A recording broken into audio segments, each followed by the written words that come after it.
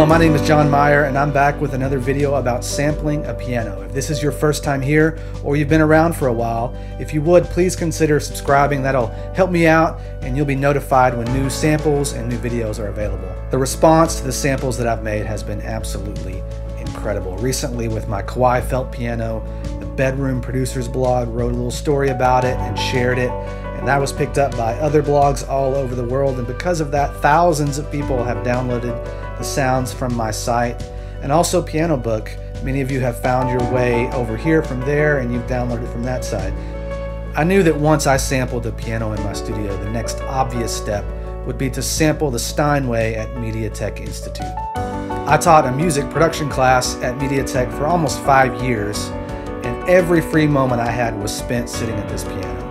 My friend Wes Martin is currently an instructor at Mediatech, so I gave him a call and we set up a time to sample the piano, and we also used it as a time to demonstrate to his students various piano miking techniques. I invited my friend Jordan Moore along to capture the day. Like myself, he's dealing with his midlife crisis by buying cameras and lenses. He's more focusing on the photography side of things.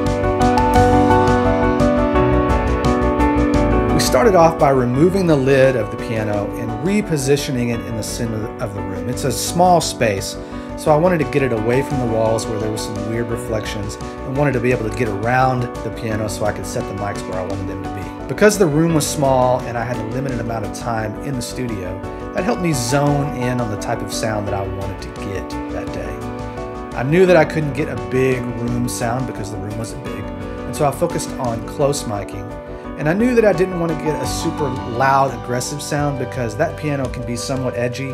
And I thought I would focus my energy on the quieter dynamic layers. Quiet's a medium. It's certainly not quiet. You can dig into it. But I wanted to make sure that I captured the essence of the piano when it was played moderate to quiet. I brought along my trusty microphones, the same ones I used for my Kawai felt piano. I placed the Coles 4038s close to the hammers and spread out wide in an attempt to somewhat try and capture the stereo image that I get when I'm sitting at the piano. With my U47 clones, I wanted to get slightly away from the piano and also separate the low frequencies from the high frequencies as best I could. I placed my KM84s in the middle in an XY pattern. However, halfway through the recording process, we lost one of the mics, so I only ended up using one of them, and I don't even know which one it was, to be honest with you. But the goal there was to kind of capture that mid-range of the piano, one centered, focused point. Mediatech has this beautiful old SSL console. I don't know my way around a console as well as I should. I'm used to microphone, preamp, converter, computer, but we got some great sounds out of the board. There were other preamps at our disposal, but time was limited, so we went with the pre's that were in the SSL. Now at this point I was tired and ready to quit, but it was now time to actually sample the piano. So I start at C0 following Christian Henson's template, working my way up fifths up the keyboard. I tried to get as many velocity layers as I could and as many round robins or um, alternate takes of each note. I did find at the end of it that I wish that I would have spent less time worrying about round robins and more time possibly sampling in thirds or maybe even closer interval, intervals. With my Kawai felt piano, I noticed that every time I hit the key, it reacted different. It hit the felts different. The hammers sounded different. But with the Steinway, there was a more consistent sound. If I hit the velocity the same, it sounded somewhat the same. So it could have been a better use of my resources and time to try and sample different notes as opposed to the same note multiple times. Eventually, I might rework this sample so that you all have individual control over the microphone levels. I know many of you have asked for that on the Kawai, but it's a bit more of a challenge for me.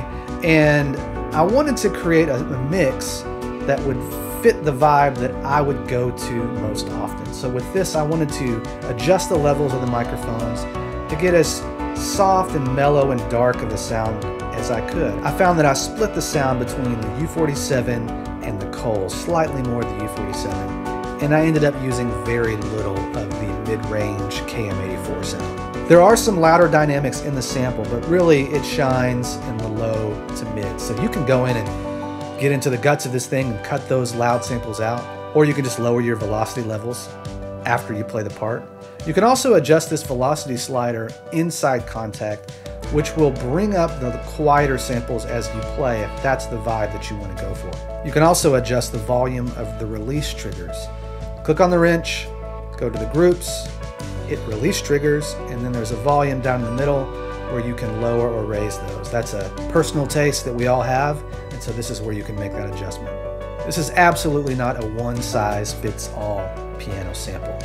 It's going to sound really good in certain situations and not great in others, but that's the beauty of sampling. You never really know what you're going to get, and then you might get something that's unique. So if you're able to use this for something in a film score or a track that you write, please, please share with me. I love hearing that type of thing. It makes me so happy to know that these sounds are being used all over the place. You all have inspired me so much, and I hope that the sounds that I'm making and this piano will inspire you to create really great things. So stay safe, and let's all get back to work, and I'll see you next time.